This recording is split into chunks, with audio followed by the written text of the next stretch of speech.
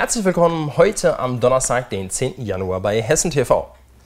Rüsselsheim. Die Gerüchte um die Übernahme von Opel durch den Citroën Peugeot-Konzern PSA haben ein Ende.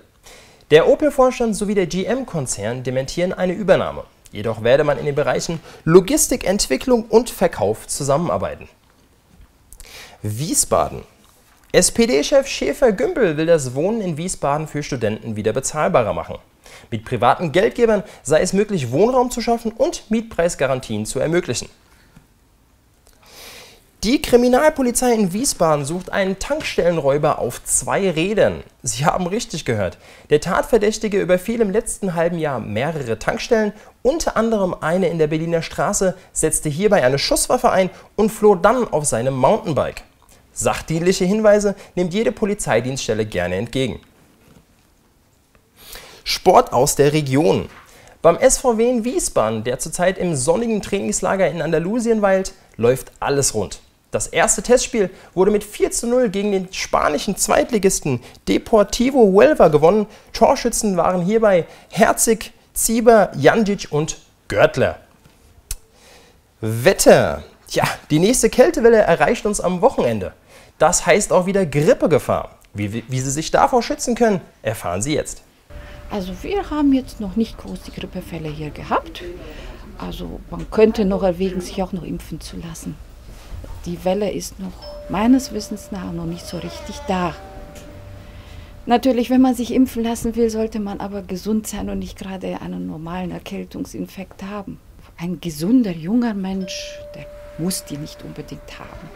Aber jemand, der schon Herzprobleme hat, andere Krankheiten, Lungenprobleme, da sollte das schon mit dem Arzt mal besprochen werden. Ältere Menschen, also so 65 plus, da wird es auch empfohlen, einfach weil man das nicht so leicht wegsteckt. Wenn man wirklich eine echte Grippe hat, das ist ja eine ernstzunehmende Erkrankung, dann geht es einem richtig schlecht. Man steckt sich natürlich an, wenn man neben jemandem steht, der niest, aber auch über Türklinken, über Dinge, die angefasst worden sind von jemandem, der vorher gerade in seine Hand hinein genießt hat. Also vor dem Essen zum Beispiel ganz wichtig, Hände waschen. Was auch was bringt, ist Zink einzunehmen.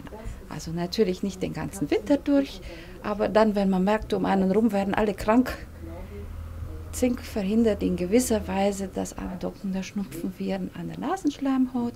Und dann kann man hoffen, dass es nicht so schnell passiert. Frische Luft, immer wieder mal raus, Abhärtung. Man sollte also nicht so ganz der Stubenhocker sein. Auch keine Angst mal vor einer Wechseldusche, das kann man auch machen. Wobei man unterscheiden muss, so eine normale Erkältung ist ja viel harmloser als jetzt wirklich eine echte Grippe, hat man ja selten. Stimmt. Eine richtige Grippe habe ich auch schon lange nicht mehr gehabt. Alternative Ernährungsformen. Was das bedeutet, darüber haben wir uns mal für Sie schlau gemacht. Ja, also die Frage nach einer gesunden Ernährung, das wird ja ganz oft gestellt und man findet ja auch in der Presse oft sehr widersprüchliche Infos dazu. Ähm, ja, was man ähm, so ganz gut zeigen kann, ist dieser Ernährungskreis, der von der Deutschen Gesellschaft für Ernährung auch formuliert wurde. Das sind also Fachleute, die sich mit dem Thema beschäftigen und sich Gedanken machen, wie kann man das jetzt auch ähm, ja, so ein bisschen rüberbringen und verdeutlichen. Und da sieht man es eben im Bild, ähm, dass da ganz verschiedene Lebensmittelgruppen vertreten sind. Man sieht hier ähm, Getreide und alles, was man so aus Getreide herstellt, Brot, Nudeln, Reis, das gehört dazu, auch in einem ganz ordentlichen Anteil. Ja, dann kommen Gemüse und Obst, wo es ja immer heißt, ja, die sind gesund. Ich denke, das weiß auch äh, so jeder. Und da sieht man, das ist schon eine ganz ordentliche Bandbreite, die da zusammenkommt. Und insgesamt also so drei Viertel ähm, pflanzliche Lebensmittel. Das wird schon empfohlen, auch für eine gesunde Ernährung. Und dann gehört natürlich noch dazu, ähm, hier die, gehören dazu die Milchprodukte, aber auch so Fleisch, Fisch, Eier gehören dazu. Also bei unserer heutigen Ernährungsweise haben ja oft Fleisch und Wurst einen recht hohen Stellenwert. Und das sind natürlich Lebensmittel, die einerseits sehr hochwertig sind, also hochwertiges Eiweiß haben, aber oft auch hohen Fettanteil und sehr viel Energie in einer kleinen Portion. Ähm, und oftmals ähm, ist natürlich auch eine Entstehung von einem zu hohen Körpergewicht dann damit verbunden und viele Erkrankungen, mit denen wir heute zu tun haben, Bluthochdruck oder auch Diabetes, was ja durchaus auch zunimmt, oder auch Störungen im Fettstoffwechsel, wenn zu viel Fett im Blut vorhanden ist.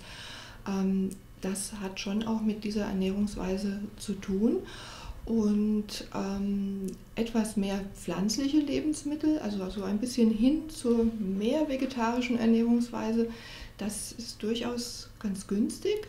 Bei der veganen Ernährung, wo es also wirklich darum geht, ähm, überhaupt keine tierischen Lebensmittel mit einzuschließen, da ist es wichtig, dass man sich gut auskennt mit der Ernährung, dass man wirklich sehr abwechslungsreich ist, dass man auch ähm, Proteine zum Beispiel kombiniert, weil die Eiweißversorgung da oft so ein kritischer Punkt ist. Ähm, man kann da zum Beispiel kombinieren ähm, Getreide und Hülsenfrüchte. Das sind sehr gute Kombinationen, wo sich auch pflanzliches Eiweiß gut ergänzt.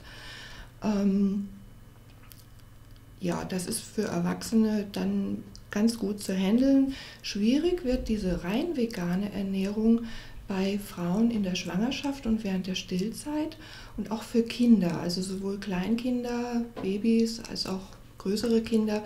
Da ist eine vegane Ernährung wirklich nicht anzuraten. Also das kann wirklich tatsächlich, wenn das ein bisschen einseitig ist, auch zu Entwicklungsstörungen führen, zu Erkrankungen. Und da sollte man wirklich die Finger weglassen. Schwierig ist Vitamin B12 und das ist zum Beispiel ein Vitamin, was für unsere Blutbildung ganz, ganz wichtig ist. Also das heißt, eine Fehlernährung, eine Mangelernährung kann durchaus ernste Folgen haben, die können aber sehr, sehr unterschiedlich sein, weil eben die Ernährungsweise ja auch immer individuell sehr, sehr verschieden ist. Also ich denke, wichtig ist, dass man bei seiner eigenen Ernährungsweise immer schaut, schmeckt es mir, bekommt es mir und tut es mir gut. Das sind drei ganz einfache Fragen, die wirklich individuell jeder für sich selber auch klären kann. Und wenn das passt, dann ist schon ganz viel gewonnen. Und was ganz, ganz wichtig ist, eben auch für eine gesunde Ernährung hier im Zentrum, das ist schlicht Wasser, also genug trinken, das ist ganz, ganz wichtig.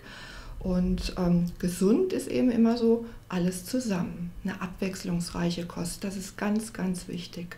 Also, viel trinken und nicht nur einseitig ernähren, dann klappt es auch mit der Gesundheit.